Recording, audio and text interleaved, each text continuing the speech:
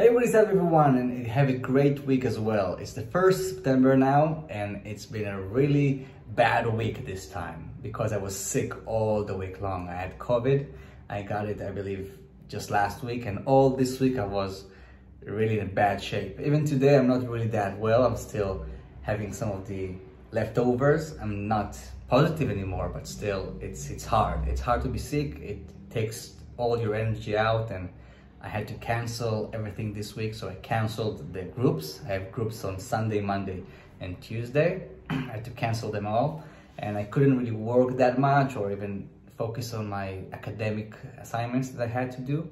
So everything had to be pushed out of the way. I also plan to do this week uh, the recordings, the last recordings for the songs of my show. Um, if you don't know, I created a show for kids that has an empowerment element to it. So I take them through the the show which has a lot of different aspects and giving them confidence and social skills and stuff like that. So one of those aspects is creating songs. And songs are each of them has a psychological aspect to them to help children develop. So that had to be also delayed for Monday of the next week. And I'm really looking forward to it because it's probably going to be very um, very big. It's going to be the next big thing I'm going to do after the instructor course that is going to be the current big thing that's going to happen. Let me give you a rundown what has been done in the last week. So I continued the group and it's already on 420 people or so. And it's a really good uh, feedback. People want to hear what I have to say. Uh, I don't really use the platform that much right now, especially this week because I was sick, but I'm looking forward to what I can do with it and accomplish.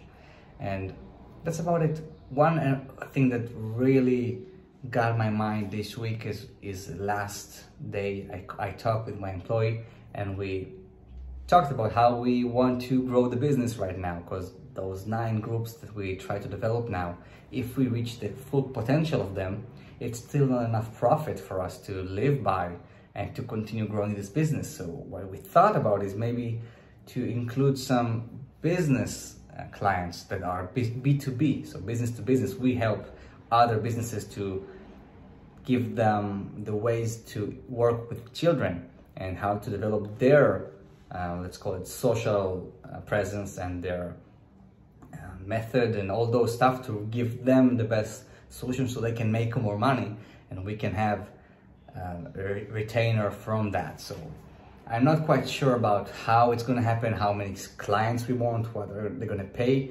But as of now, I'm starting to get the understanding that I can't only focus on the groups and birthdays that I found is going to be a main subject right now that we're going to do a birthday event each week for a client and that will be around two to three thousand uh, shekels per per event.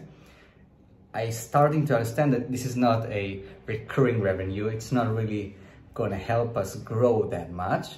So maybe I have to put that on a hold and focus more on the business clients that can pay 5k per month in shekels. And that retainer can help us really get to the next level.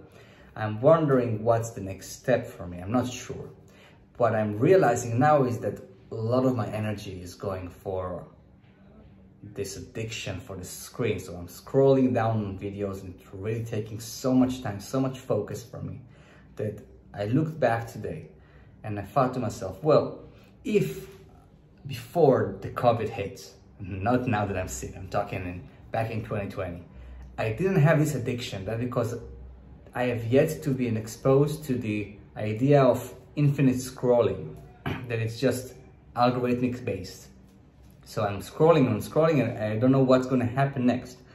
This also brought up a lot of, I believe, issues with me that I starting now to understand I have to push back and be less focused on.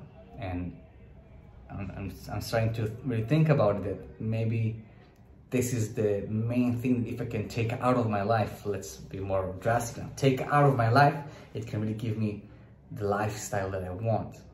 I'm not sure how it's to happen, if, if it's to happen, how, when, but for certain, this is the most problematic behavior that I'm having right now. And if I can completely remove right now the time that I spent on screens and use that just for work, you know, basic stuff, that will progress our business so much. And I think that's something that I really need to figure out. I'll, I'll think about it this week, really. Because I talked about it also last time and I realized I haven't really progressed. Well, I was sick all week, but still, I need to find a way out of this mess. One more thing that happened was I saw again, because I've seen it before, a clip from Mr. Beast. If you don't know Mr. Beast, is the most popular YouTuber, I think, as of now, which it's an amazing channel that is just about having entertainment. And he said something in one of the podcasts that he participated in. He said, my mission is to make the best videos possible. And when he said that, I realized something. That's all he's doing. That's the main vision, to make the best videos possible. And I've tried to think about myself. Well, do I, do I have this one-liner of what I'm trying to make? That is the one thing I'm trying to be the best in the world at. And it's very difficult because there are so many aspects to it. So my mission is to make the best um, caregivers for children, whether that be instructors or parents. It's the best caregivers in the world, to, to make the best caregivers in the world. But that's not correct mostly because that's just part of the business. I also have this mission to make children more empowered. So maybe that's the main focus. And I also have the videos that I make for my experiences with children to help people reach out. And, and I guess I also have this make the best videos possible for me to show people how to work with children because that's the main flow of new clients to my business. They see those videos and they want to take part of it. So I guess I'm still having the same issue all around. Same thing with the scrolling, same thing with what I just said. I'm lacking clarity. And when I find that clarity, this, this laser focus that's going to take me to my goals, I think I'll really reach my potential. And I guess that one of the reasons it's so difficult for me is because I have so many different plates on my plate. So I have the uh, the degree, master's degree that I'm currently have two assignments to do and they are due this week. I have the business on my hand. I have a, a family to to build, right? A house to take under control, and I have myself that I need to also develop and have my needs. And I think that all those things together eventually made me realize, well, I'm having difficulty when I don't have enough clarity and singularity, which is just one thing I'm going to focus on. And everything just mashed together. I wonder what I'm missing here. Maybe I'll come also with that uh, understanding over the next week.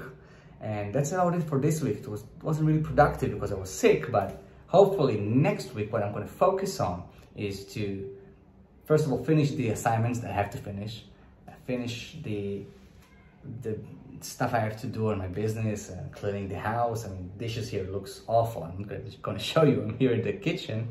But I think that in general, I'm trying to, first of all, clean my clean my life better. So finish the, the assignments, clean the house, getting things in order will really help me to progress on. And then I'm going to focus on creating a video because I haven't done it in a, in a long time.